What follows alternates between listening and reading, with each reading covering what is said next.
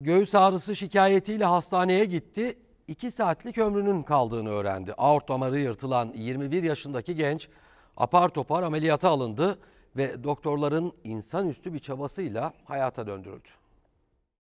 Kalp ağrısıyla geldim. Ölümden döndük. 2 saat ömrü kalmış dediler. Aynen öyle oldu. Göğüs ağrısıyla gittiği hastanede 2 saatlik ömrünün kaldığını öğrendi. Böyle büyük bir sorunla karşılaşacağımı hiç tahmin etmedim. Ölümü için dakikaları sayan genç ameliyatla hayata döndürüldü. Bu ameliyatın riski çok yüksek idi ancak ameliyat yapmaya mecburduk. Aort damarının yırtık olan bölgesini değiştirdik. Trabzon'da okuyan Şanlıurfalı Üniversite öğrencisi Ferit Kahraman göğüs ağrısı şikayetiyle hastaneye gitti. 3 yaşında bundan 15 yıl önce falan kalp hastalığı yaşamıştım. 21 yaşındaki gencin aort damarı yırtılmıştı. 100 binde bir görülen bir durumdu. Doktorlar gence 2 saatlik ömür biçti. 2 saat ömrü kalmış dediler. Bayağı riskli bir ameliyattı. Ve Ferit Kahraman hemen ameliyata alındı. Operasyon çok riskliydi ama başka çare yoktu. Eğer ameliyat edilmezse dakikalar sonra ölecekti. Aort damarının yırtık olan bölgesini değiştirdik. Ve Ferit